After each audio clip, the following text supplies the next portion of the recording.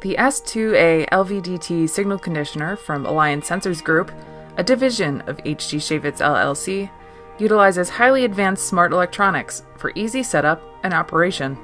The signal conditioner is compatible with a wide range of LVDTs, RVDTs, and inductive half bridge sensors specific to power generation applications.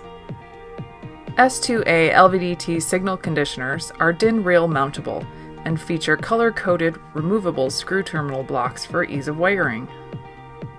Calibration is simplified using the intuitive zero and span push buttons and null indication LEDs, substantially reducing setup time.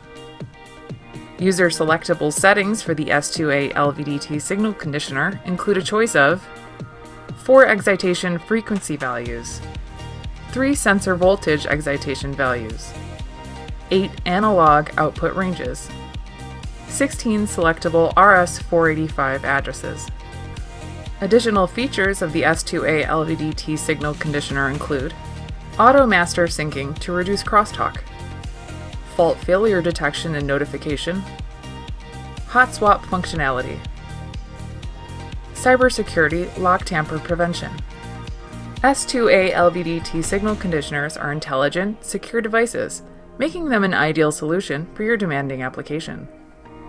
Alliance Sensor Group's experienced application engineers are standing by to help you solve your measurement challenges.